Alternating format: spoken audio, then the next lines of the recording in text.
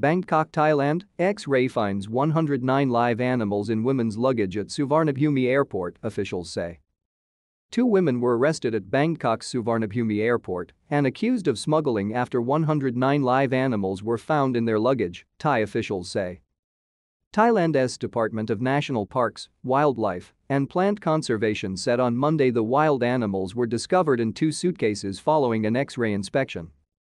Wildlife officials called to the scene discovered two white porcupines, two armadillos, 35 turtles, 50 lizards and 20 snakes in the two pieces of luggage.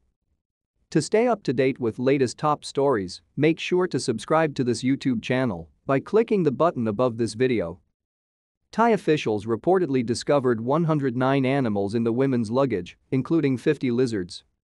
Thai authorities said the suitcases belonged to two Indian women, Nithya Raja, 38, and Zakia Sulthana Ebrahim, 24, who were due to board a flight to the Indian city of Chennai.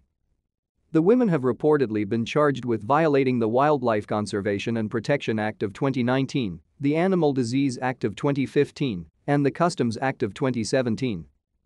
Animal trafficking via airports has long been an issue in the region.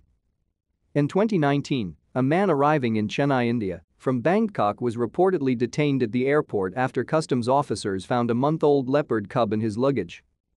A March 2022 report by Traffic, a wildlife trade monitoring agency, said that more than 70,000 native and exotic wild animals, including their body parts or derivatives, were discovered in 140 seizures at 18 Indian airports between 2011 and 2020. Chennai International Airport, Tamil Nadu, recorded the highest number of wildlife seizure incidents, followed by Chhatrapati Shivaji International Airport, Mumbai, and Indira Gandhi Airport, New Delhi, the report said.